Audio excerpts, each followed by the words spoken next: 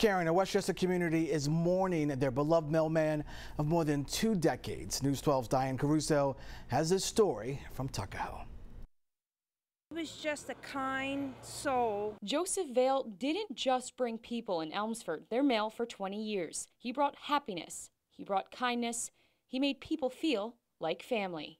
He had five minutes for you. You know, whether you were the lady across the street who lost her husband, who was 92 years old. He was there for Danielle Prizer's family as they grew up. He was just Joey Vail. At 66 years old, he passed away this month from a heart issue, a heart that everyone who knew him loved. Joey was very, just a fantastic person. You can't live without Joey. Before being dedicated to community, he was dedicated to country by serving in the Army during the 70s. Now he leaves a hole in his Elmsford community. He's going to be missed.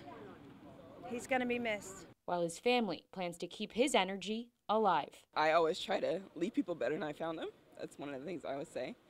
And I really hadn't thought about how much I got that from my father. If anybody was even in the vicinity, made them feel like they were family. So, and that's one thing I'm gonna take a trait that he has I will always have no matter what. In Tuckahoe, Diane Caruso, News 12. What a remarkable man. To show how much Vail was loved by his community, a GoFundMe has been created to help cover his funeral costs, and it quickly reached its goal in just one day.